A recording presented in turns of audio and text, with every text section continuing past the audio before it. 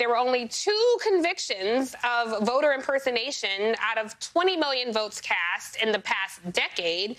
The chief law enforcement officer there, who's responsible for prosecuting some of these things, found just 16 examples of false addresses on registration form. That's not enough to, to change the outcome of an election. I know you're a Trump fan. His own attorney general, Bill Barr, said there was no mass voter fraud.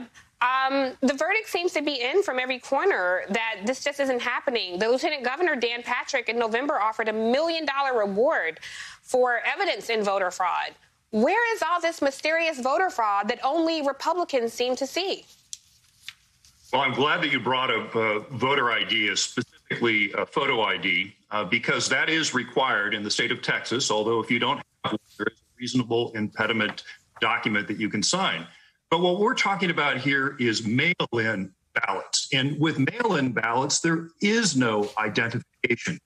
And you talk about fraud. We had three elections invalidated because of mail in voter fraud in Texas in 2018, including in the city of Mission, where they had to do the election all over again. This is like the city of Paterson in New Jersey, where you just had two city council members indicted two weeks ago for massive mm-hmm. mail in ballot fraud in the third biggest city in New Jersey last year. And you talk about black votes matter. Black votes matter in Paterson, New Jersey, where the vast majority of residents are residents of color, and they were disenfranchised by wide scale voter fraud this last year. Yeah, I, I, imagine you're so concerned about black voters. But let me ask you because Donald Trump um, voted by mail. Uh, he voted by mail for the third time. Uh, he voted in Florida by mail in 2019, in March 2020, and again this year. Right. So if this is good enough for the GOP king, for the MAGA king, why is it not good enough for the people in Texas?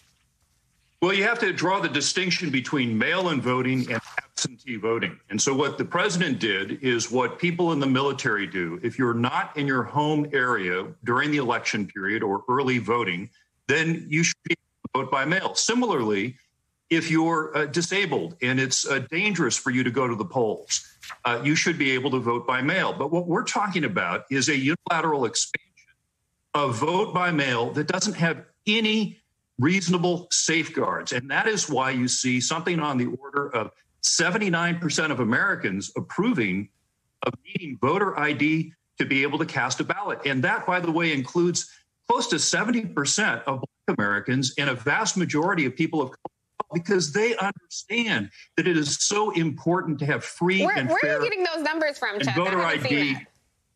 Oh, it's a new Rasmussen poll just three days ago. Rasmussen. Okay. All right. Well, look, um, Jessica, you're there on ground in Texas. Have you seen, has there been a problem? Because it seems like a solution in search of a problem. And I have to tell you, um, the research I've seen does not show a large portion of black voters um, or people of color supporting legislation that makes it more difficult to the ballot box. What have you seen being a legislator in, this in, in Texas? I mean, there's absolutely no evidence of voter fraud. Uh, you know, our indicted attorney general has spent millions of dollars on a voter integrity unit, uh, and they've come up with virtually no evidence uh, of voter fraud. Yet we're seeing tons of legislation that has been filed in the Texas House that is aimed at creating barriers um, and trying to solve a problem that just simply doesn't exist. And we keep asking these questions: What's the problem? What are we trying to solve? Uh, and we can't. We just can't get any answers. So, LaTosha, before I bring you in, I want to go back to Chuck. Look, this has been such an issue for the Republican Party, okay? Um, so uh, let's assume that the Republican Party is really so worried about this non existent voter fraud. Um, let's assume that that's your intention, that you just want to protect election security. Um, are you okay with the fact that these, these rules that you want to put in place will, in fact, disenfranchise millions of people of color, uh, not only in Texas, but across the country? So, first of all, I, I categorically reject your uh, your conjecture that somehow the requirement to present identification, government ID, is somehow racially difficult for certain uh, members of the United States. I mean, talk about condescension. Excuse me. In fact, that's why the vast majority of Americans want to have voter uh, ID. And to go back to Representative Gonzalez and her contention, we had three overturned in Texas just three years ago. because of wide scale mail in ballot fraud, including in the city of Mission, Texas. That isn't evidence of no uh, fraud. To the contrary, it shows that there is fraud and that the main mechanism for fraud is mail in ballots. And what we saw last year because of COVID 19 was this multi hundred million dollar effort to unilaterally change voting laws, to change the election code in states using uh, consent decrees, using the courts, bypassing the legislature but broke Chuck, down. Let me these, let me ask you, Chuck, safeguards for free these, but voting. These safeguards that you're talking about, like you're saying, this is all about protecting election integrity. But what about the Republicans' role in selling this big lie? I mean, those are the people who are worried about election integrity. The Republicans' role in saying that the last election was not legitimate because their candidate didn't win. So where is the the true intention of protecting election integrity? Wouldn't that be expanding the pathway to the ballot box? You keep throwing out these statistics about voter fraud Right. When I just went over that there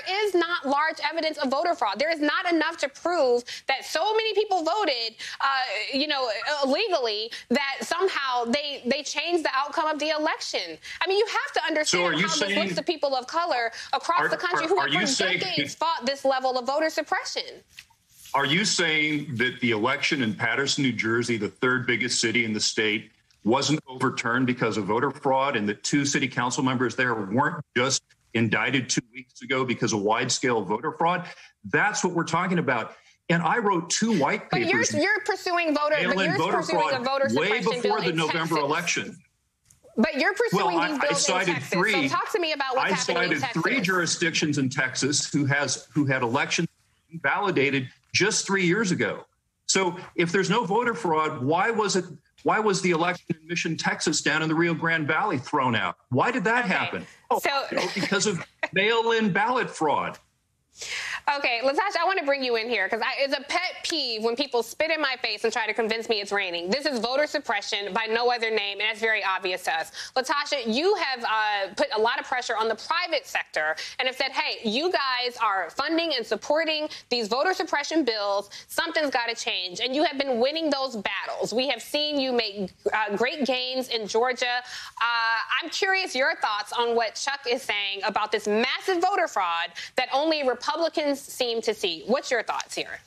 So, a couple of things. I am glad that Chuck said that they care about black voters because they care so much about black voters that they've targeted on finding ways to disenfranchise black voters in that state.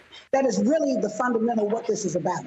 The bottom line that the, the lieutenant governor spent 22,000 hours of looking for voter fraud. There were 16 cases of people using a different identity. In addition to that, this is a part of a long history of Texas. In 1964, during the height of the voting rights movement, and what led ultimately to the Voting Rights Act, of which uh, uh, Lyndon Johnson, who is from Texas, signed, right, was part of the egregious behavior that was happening in Texas. That there were over 100,000, they said the same exact lie. This isn't new. This lie has been recycled from the voting rights movement that they actually said in Harris County, it was called the Negro Voter Protection, that basically sent out uh, uh, notices to thousands of black folks in Harris County saying they had just even been questioned that they would be arrested for voting. So this is a history in the state of Texas. They don't have, not only do they have not a voter problem, they have a problem in terms of where they have intentionally disenfranchised people to vote, and they're 48th in the nation. So, if anything, I would expect that Chuck would take leadership if he's really um, interested in expanding. Then why wouldn't we not do everything in our power to provide access to the ballot? Which is why in some of those cities in, in Texas, less than 8% of the population are voting. And so, this is a matter around the demographic shifts in the state, where it's becoming increasingly a diverse state and they're attacking the vote. And so, yes, he's right. They do care about black and brown voters to the extent that they can focus on them to disenfranchise.